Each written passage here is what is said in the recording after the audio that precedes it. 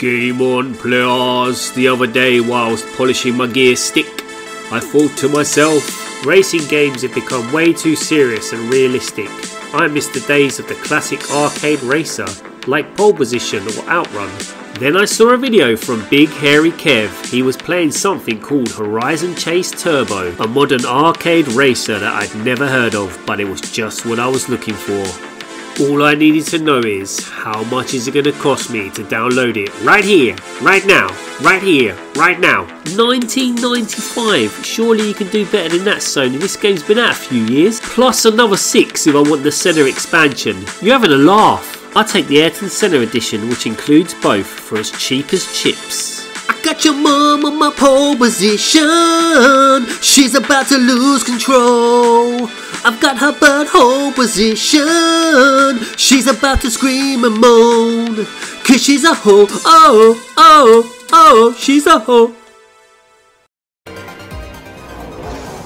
Ladies, gentlemen, welcome back to the channel where I'm going to play another cheap game to see if it gives me pleasure. Today's game is Horizon Chase Turbo, originally released in 2015 as Horizon Chase on iOS and Android, and then apparently improved upon and ported to the Bitch, Sexbox, and Play With Yourself station in 2018.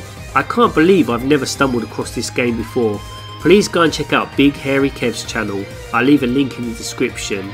Because of his gameplay footage, it made me want to give this a go. So for my 6 euro dollar pounds, I have some events to unlock, as well as the main game, the World Tour. The Senna Forever expansion pack, where apparently you follow the career of legendary Formula 1 driver Ayrton Senna in cars inspired by what he had driven and iconic tracks he had raced on reimagined. No spoilers in the comments. I can't wait to see how his career turned out. However, that will have to wait for another video, as today we'll be starting off with Rookie Mode, which is an expansion you can download for free and apparently is good for children and beginners. And as I'm a beginner and I'm taking turns with my son on this one, we decided to give it a go. There's a few car options to start off with, the rest are unlocked as you work your way through the game. I'm going to start my campaign with this Ferrari F40 lookalike and for some unknown reason imagine it's a convertible Testarossa. With the roof down, cruising along Highway 69, shades on, wind blowing through my hair, with a bleached, blonde, tanned, bikini wearing silicone bimbo by my side. She's a tease. Make me feel fine. Blowing my jizz, mouth green pie. How dare you! How rude!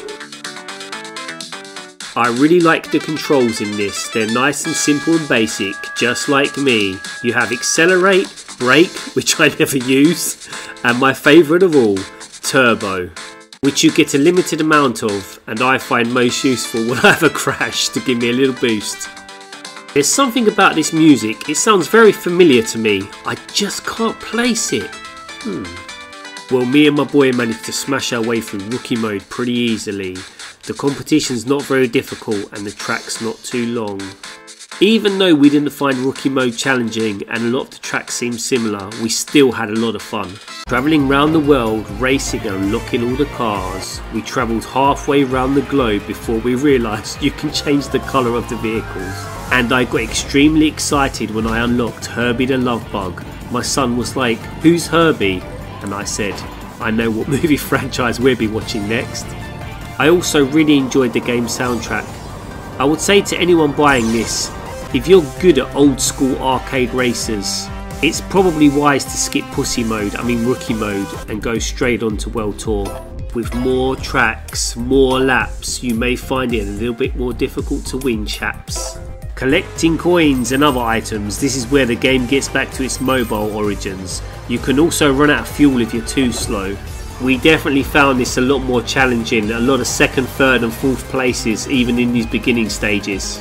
But we're having a lot of fun, even my daughter jumped in for a few races and then she discovered multiplayer. I really must find out what you can do on these games before I decide to play them. So you can play up to four player split screen. And me and the boy were having a lot of fun, maybe too much fun, laughing and screaming. We were warned several times by the old ball and chain to calm down a bit, and when we didn't, she pulled the plug. At the end of the day, I would highly recommend this game. It's just simple, stupid fun. And it's as cheap as chips. I'm definitely going to continue to play this, and I've noticed as we've been unlocking the cars, this opens up new competitions for those vehicles. I'm planning to do another video in the future, as I've yet to have played Senna Forever.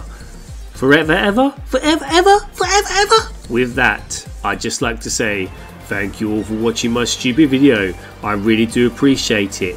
Until next time, peace.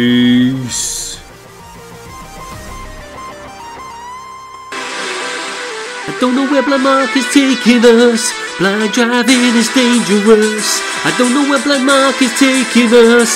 Blind driving is dangerous. Whoa, oh, oh, oh, oh. Blind Marc is dangerous. Oh, oh, oh, oh, oh. That prick is dangerous.